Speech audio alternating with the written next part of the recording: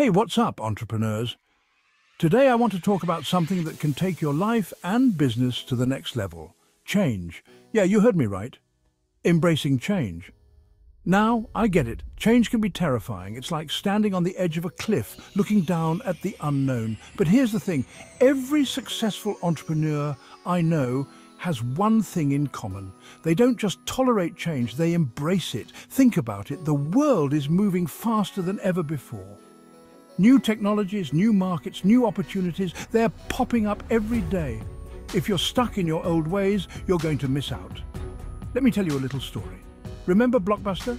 They had the chance to buy Netflix, but didn't because they were comfortable with their business model. And look where they are now. Netflix, on the other hand, embraced the change, took risks, and now they're dominating. So, how do you embrace change? First, you've got to have a mindset shift. See change as an opportunity, not a threat. When something new comes up, ask yourself, how can I use this to my advantage? Next, stay curious and keep learning. Read books, listen to podcasts, watch videos, whatever it takes to stay ahead of the curve. The more you know, the better equipped you'll be to handle whatever comes your way.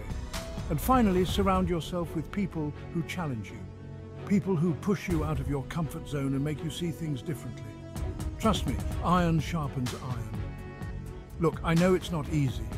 Embracing change requires courage and a bit of faith. But the rewards, they're worth it. Imagine transforming your life and business, reaching heights you never thought possible.